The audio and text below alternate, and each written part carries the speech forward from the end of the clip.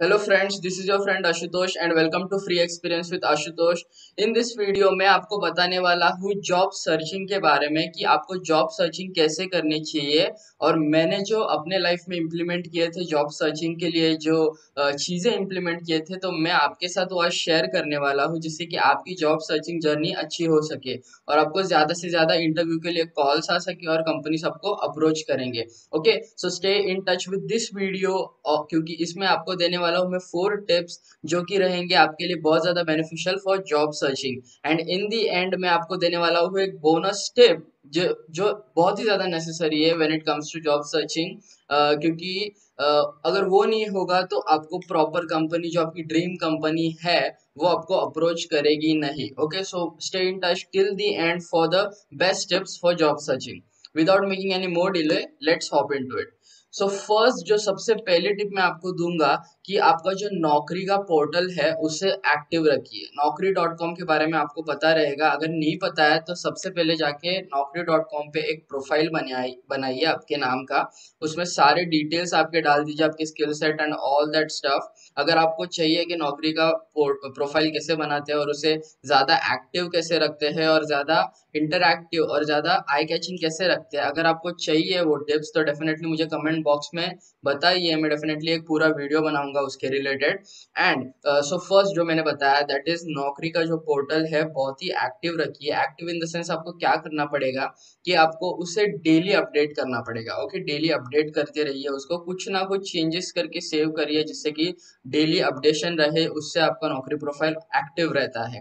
Okay and वो मैं क्यों बता रहा हूँ आपको? क्योंकि जितना मैंने नोटिस किया है कि उस Naukri is the best portal when it comes to job searching उससे सबसे ज़्यादा कॉल्स वगैरह आते हैं। मैंने खुद के मेरे तीन कंपनीज़ जो मैंने बोलते हैं ना कि जिनमें काम किया है, वो नौकरी से ही उन्होंने मुझे अप्रोच किया था। Okay so it is really necessary कि आपका जो नौकरी का पोर्टल है, वो एक्टिव रहे। सेकेंड इज़ कि आपको लिंक्डइन पे एक्टिव प्रोफ़ाइल बनाना है एंड जो एच रहते हैं ओके okay? जो कंपनी के एच रहते हैं, उनके साथ कनेक्शन बना के रखना है कनेक्शन क्यों बनाना है क्योंकि एचआर जब भी कोई जॉब पोस्टिंग करते हैं तो आपको सबसे पहले पता चल जाएगा और आप आप अप्लाई कर सकते हैं उस चीज़ों पे। ओके सो मेक श्योर की जो सेकेंड इंपॉर्टेंट चीज़ है दैट इज़ लिंकड का जो प्रोफ़ाइल है, वो भी एक्टिव रखिए और वहाँ पे एचआर के साथ कनेक्शन बना के रखिए। मल्टीपल एचआर डिफरेंट कंपनीज़ के एच रहेंगे, उनके साथ कनेक्शन बना के रखिए। थर्ड इज़ जो आपकी ड्रीम कंपनी है, जिसमें आपको अप्लाई करना है, जो भी कंपनीज़ आप बोलते हैं ना, उनमें अप्लाई करना चाहते हो, उनमें काम करना चाहते हो, उनके वेबसाइट पे जाइए ऑफिशियल वेबसाइट पे जाइए और करियर पेज पे जाके आपका रेज्यूमे सबमिट करके रखिए। ओके ये आपको क्यों बता रहा हूँ? क्योंकि अगर आपने आपके ड्रीम कंपनी के करियर पेज पे जाके आपका रेज्यूमे सबमिट किया, उसके बाद में आपके रेज्यूमे के अकॉर्डिंग जो भी पोजिशन ओपन होती है, उसके लिए आपको वो कंपनी मेल करती है और उसके बाद आप वो पोजिशन के लिए अप्लाई कर सकते हैं।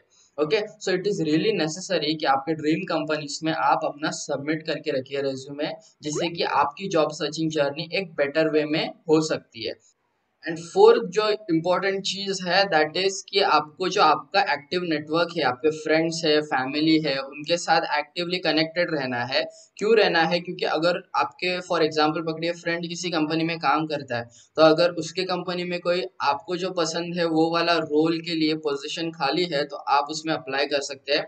और इट इज़ इंपॉर्टेंट क्योंकि रेफरेंसेस रेफरेंस से जो भी कैंडिडेट्स अप्लाई करते हैं, उनको ज़्यादा प्रायोरिटी में बिहोल्ड किया जाता है उनको ज़्यादा प्रायोरिटी दी जाती है when it comes to candidature for a particular role okay so make sure कि आपके एक्टिव रहिए आपके uh, आसपास जो फ्रेंड्स है फैमिली है उनके साथ में. Okay so these were the four tips and अब मैं आपको बताने वाला हूँ fifth that is the bonus tip जो मैं आपको देने वाला हूँ and that is stay patient it is really necessary क्योंकि देखो अगर आपने एक आध कंपनी में अप्लाई किया तो आपको उसका एच आर फटाक से कॉल नहीं करने वाला ओके? उनके पास भी लिस्ट रहती है सो आपका नंबर आने में टाइम लगने वाला है सो so, सबसे इम्पोर्टेंट इज़ कि आपको पेशेंट रहना है आपको आपके ड्रीम कंपनीज़ में अप्लाई करके रखना है और पेशेंट रहना है क्योंकि आपका टाइम आएगा थोड़ा लेट हो सकता है बट डेफिनेटली आपका रेज्यूमे वो प्रोसेस से गो थ्रू करेगा okay? So so, be patient while job searching it is really important और अगर आप पेशेंट हो तो डेफिनेटली आपको आपकी ड्रीम कंपनी में जॉब ज़रूर मिलने वाला है।